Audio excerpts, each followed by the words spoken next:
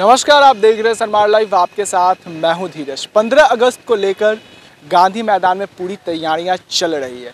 बात कर ली जाए अगर आज की तो आज यहाँ पे एक अहम बैठक बुलाई गई है, जिसमें प्रमंडलीय आयोग के संग आपको बता दें कि पटना डीएम कुमार रवि, गरिमा मलिक, पटना के एसएसपी, इन सब के बावजूद बड़े बड़े आला अधिकारी मौजूद हैं और इस बैठक में साफ़ तौर पे 15 अगस्त में किसी भी तरह की खामियाँ ना देखने को मिले झंडोत्तोलन के दिन किसी भी तरह की बातें सामने ना आए इन सब के मद्देनजर आज यह बैठक बुलाई गई थी जिसमें प्रमंडलीय आयुक्त ने साफ़ कहा कि हर एक छोटी छोटी गलतियों पे भी हम लोगों को ध्यान देना है क्योंकि एक छोटी गलती भी काफ़ी बड़ा स्वरूप ले लेती है। इन सबको लेकर सुरक्षा व्यवस्था को लेकर तमाम व्यवस्थाओं को लेकर इस बैठक में चर्चा की जा रही है जिसमें तमाम प्रशासनिक आला अधिकारी की मौजूदगी देखने को मिल रही है।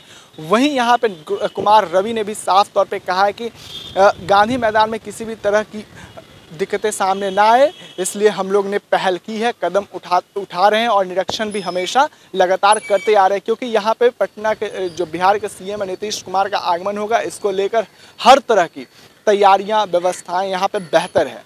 हर साल की तरह इस साल भी काफ़ी बेहतर व्यवस्थाएँ, काफ़ी बेहतर सुविधाएँ देखते हुए इस बार अरेंजमेंट किया गया है। 15 अगस्त को लेकर प्रशासन काफ़ी मुस्तैद दिख रही है।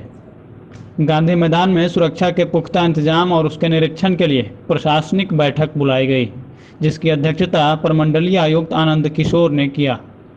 इस बैठक में प्रमंडलीय आयुक्त के साथ साथ डीएम कुमार रवि, एसएसपी गरिमा मलिक और कई और प्रशासनिक अधिकारी मौजूद रहे।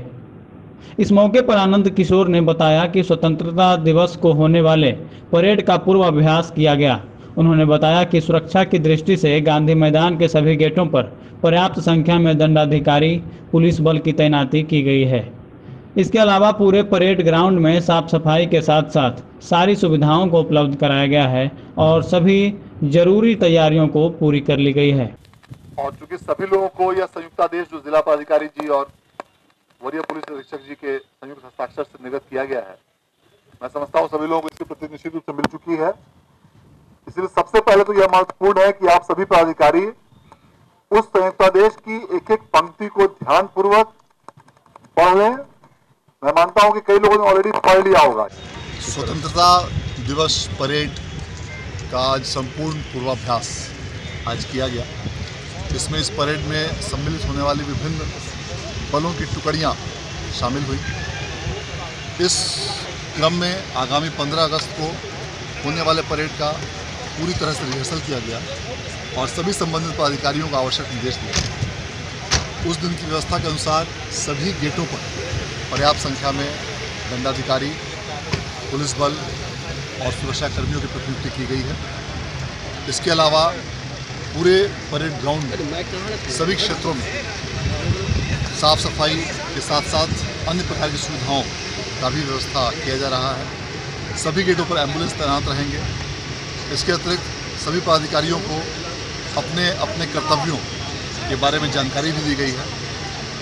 इस अवसर पर होने वाले परेड के संबंध में अन्य भी सभी प्रकार की प्रशासनिक तैयारियाँ और विभिन्न विभागों से संबंध समन्वय जैसा नगर निगम, भवन निर्माण विभाग पीएचईडी और अन्य जितने भी विभाग इस पूरी तैयारी में सम्मिलित हैं उन सभी लोगों को भी निर्देश, आवश्यक निर्देश दिया गया है। और इसके बाद मजिस्ट्रेट्स और पुलिस अधिकारियों की ब्रीफिंग भी की जाएगी और इसके लिए सभी प्रकार की आवश्यक तैयारियाँ पूर्ण करेंगे। अगर आपको ये वीडियो पसंद आया हो तो आप हमारे चैनल को लाइक करें सब्सक्राइब करें और बेल आइकन को ज़रूर से ज़रूर दबाएँ ताकि हर वो नोटिफिकेशन आप तक सबसे पहले पहुँच पाए। कैमरा पर्सन राकेश के साथ मैं धीरज कुमार सन्मान लाइव पटना।